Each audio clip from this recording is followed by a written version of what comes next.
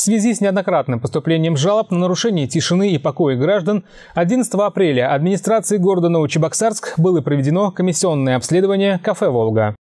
В мероприятии приняли участие глава города Олег Матвеев, заместитель главы администрации по экономике и финансам Ольга Григорьева, начальник отдела экономического развития и торговли Розалия Елфимова. Участники обследования ознакомились с документами организации, осмотрели помещение, а также пообщались с руководством и работниками кафе. Ходе обследования руководителю кафе «Волга» было рекомендовано обеспечить посетителями кафе соблюдение тишины в ночное и вечернее время.